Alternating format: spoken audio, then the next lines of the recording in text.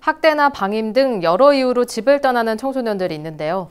성인이 되더라도 자립하기가 녹록치 않은 게 현실입니다. 경기도가 이들 가정박 청소년들을 위해 자립 두배 통장을 추진키로 했습니다. 목돈 줄 수 있도록 돕겠다는 건데요. 최지연 기자가 자세한 내용 보도합니다. 폭력과 방임 등을 겪다 고2 때 집을 떠나 청소년 복지시설을 찾은 정미진 씨. 어느덧 22살 성인이 돼 시설 퇴소 후 혼자 삶을 꾸려갑니다. 그러나 홀로 서기의 성공까지는 아직도 버겁습니다.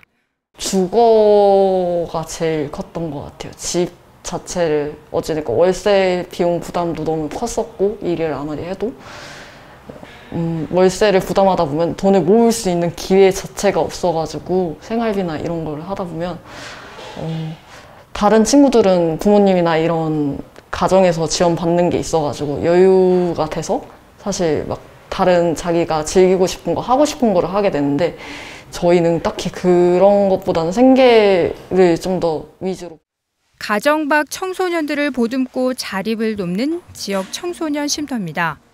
가족과의 갈등이나 학대 등으로 집을 나온 청소년들이 머물 수 있는 곳인데 공부도 하고 운동도 같이 하며 이들에겐 이곳이 집입니다. 불안나 학대, 방임 등을 겪다 가출해 이런 시설을 찾은 청소년은 작년 한 해 경기도에만 4,300여 명. 이들 중 시설 퇴소 후 가정으로 돌아가는 비율은 35% 정도에 불과했습니다. 경기도가 청소년 복지시설에서 생활하는 이들 가정 밖 청소년의 퇴소 후 경제적 자립을 돕기 위한 자립 두배 통장 제도를 추진합니다. 해당 청소년이 매월 저축하는 금액의 두 배를 경기도가 추가 적립해 자립 기반을 마련해주는 사업입니다.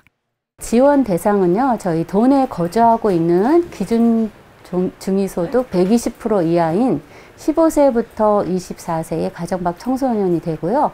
어, 청소년 쉼터에서 3년 이상 거주하고 있거나 또는 3년 이상 거주한 후에 퇴소한 사람 또는 청소년 쉼터에서 1년 이상 거주한 후에 아, 청소년 자립지원관에서 6개월 이상 지원받고 있어야 하고. 대상 청소년의 매월 저축액의 두 배를 최대 20만 원까지 경기도가 추가 지원한다는 계획. 선정된 청소년은 2년 단위로 최대 6년까지 지원받을 수 있습니다. 월 10만 원씩 2년 후 원금 기준으로 720만 원, 최대 6년간 저축할 경우 2,160만 원의 목돈을 마련할 수 있습니다.